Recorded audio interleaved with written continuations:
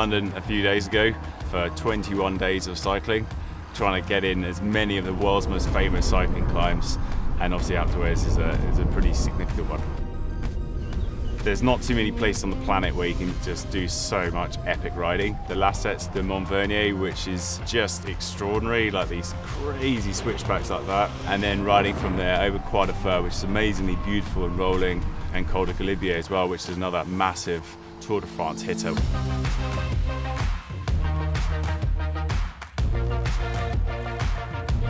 My mission is to just to question what are the world's greatest hiking climbs and to show you ones which I think are even better than what you think are the world's best climbs.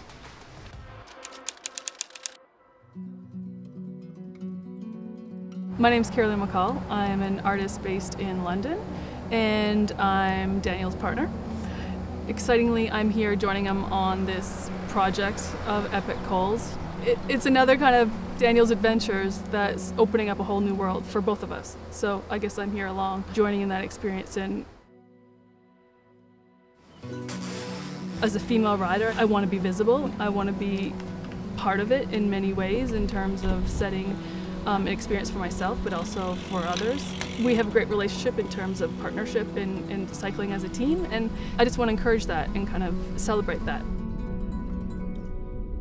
My focus has kind of changed massively over the years where like in years gone by I was like glued to my GPS, glued to power, glued to KOM and actually putting a camera on my back has, has changed my life because like no longer am I looking at power and data I'm actually looking up and getting to appreciate all this beauty and to be able to cycle and photograph that is just like, you know, it, it's really special to me. So absolutely, I want to get the most extraordinary photographs I can possibly get here.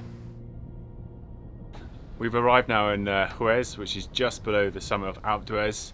The last few days we've been hitting up world famous climbs and here we are to do the, the big one, the big challenge of Alpe. Super excited. Uh, now it's time just to get the bike, final bits of preparation, some fresh oil, make sure it's nice and clean, uh, and yeah, it's game time.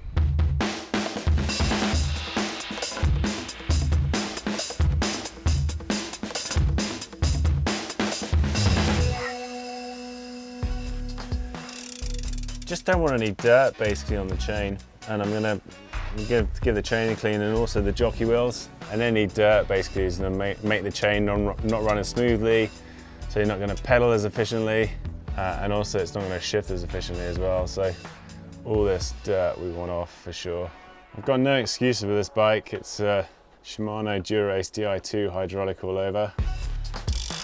Uh, I've gone for the HED Vanquish 4 with Panaracer tyres, so they're going to run super fast. Yeah, a bit like everyone who comes to d'Huez, you come here, you absolutely want to try and set your best time. So yeah, we're gonna we're gonna do that too. I don't really care what anyone else thinks really, it's more about me. I'm just like so internally competitive. So I just want to set my personal best um, tomorrow. And, and, that's really where the nerves come from. It's almost like self-induced, I guess. You just got to enjoy this. Like we're in d'Huez, like in this beautiful background. You know, epic world-class cycling. That's all done, so yeah, it's time to basically just get on a bike, go and cruise around the areas, see what we can find. See some nice uh, roads over there as well. So yeah, there's plenty, plenty of riding here to be done.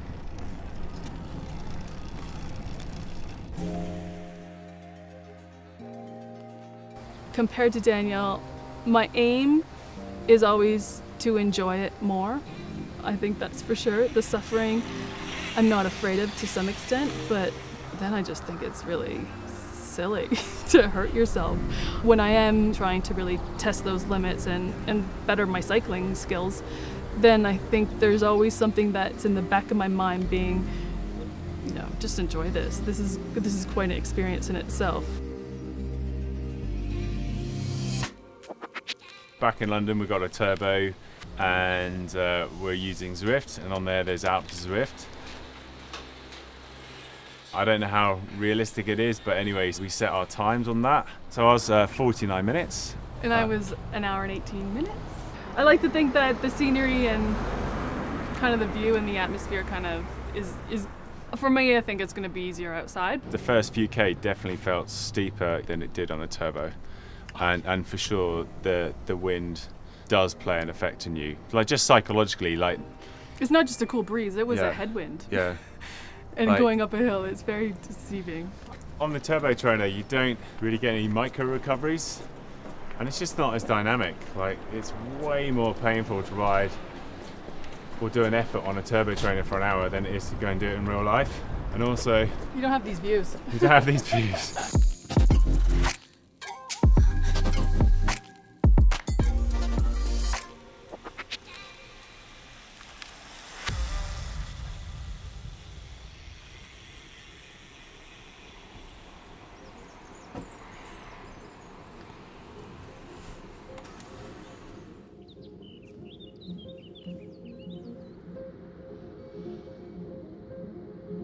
21 switchbacks, 1100 meters of climbing, 13 kilometers, average gradients, depending on how you do it, 7, 7 to 8%, and then ramps of over 10%.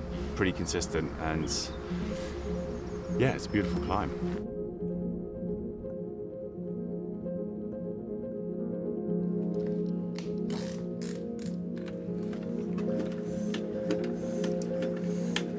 I've never done a time trial before, or I've never really tried to race up a mountain that is featured so highly and I know is quite difficult. The nervousness of that carries in the very beginning. I am competitive. Um, there is only really one competitor out there, and that's that's myself. Um, it's me against the clock, watching those seconds tick away and trying to limit those number of seconds on, on this climb. I'm not going to enjoy this ride really. I'm I'm not going to get to see the scenery. It's going to be eyes down, total focus. I'm going to need to see this video to actually see the climb, to actually relive the climb, because I, I probably won't remember any of it apart from what my legs tell me at the end. Until you're tired, until you're broken, then you can start to rebuild and find, you know, find the opportunity to be better. You know, and I think those are the things that with any challenge, you kind of you, you set yourself up to be able to explore those experiences. If this is a privileged thing, if, if you, you know this is my choice to be putting myself in this position, you kind of wonder your sanity and you kind of wonder, well, what are you doing it for if you just want it to be over?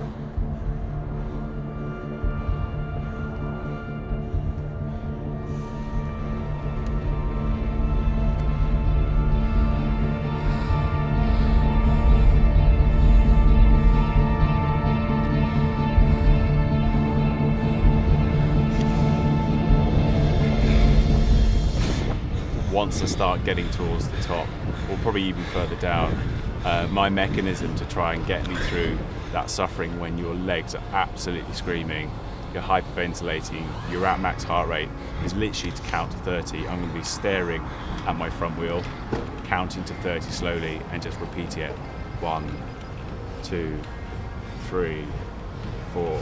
Just having that kind of like micro distraction from the pain I'm a performance artist, so in many ways, of course, I'm going to try my hardest. Of course, every moment I'm going to be um, thinking about making sure I'm giving it my best effort. It's all in the mind. It's just how much are you willing to suffer? How much are you willing to break yourself? I'm not just going to be using my legs, I'm going to be using my arms, my entire body. I'm just going to be like breaking myself to get over that line as quickly as possible.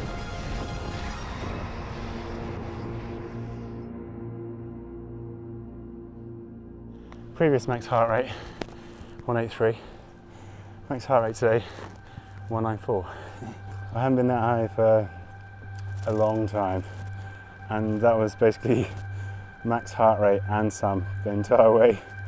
Hardest part, definitely the first third, because you're just suffering and you've still got a really long way to go.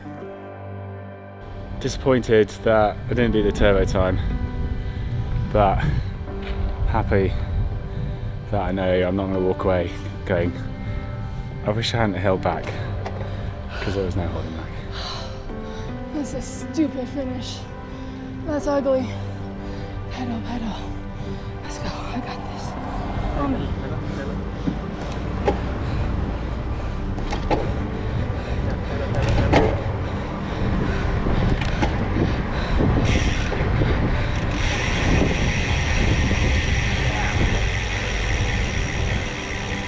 Thinking to myself, what the hell is a time trial? And you're just worried about like, am I cooking my insides? Like, are they really on fire? I think they are. This is not good for the body, is it? and that wind, it, you kind of have to trick your head to think it feels nice because it's so hot and it's a nice breeze, but man, it makes you feel like you're snail.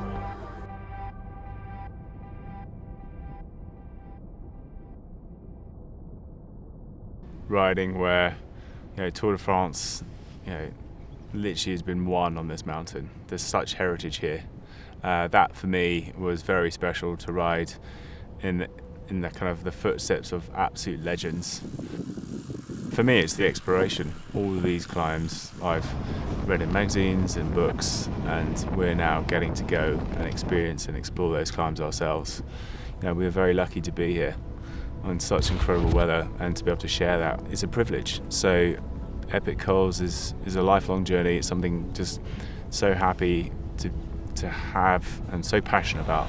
You know, this this is a dream for me. I do have to say a massive thank you to Shimano. We wouldn't be here without them. Definitely not going to be in Europe for too much longer.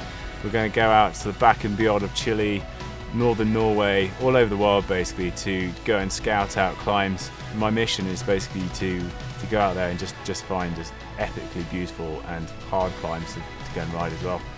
Yeah, it's going to be fun.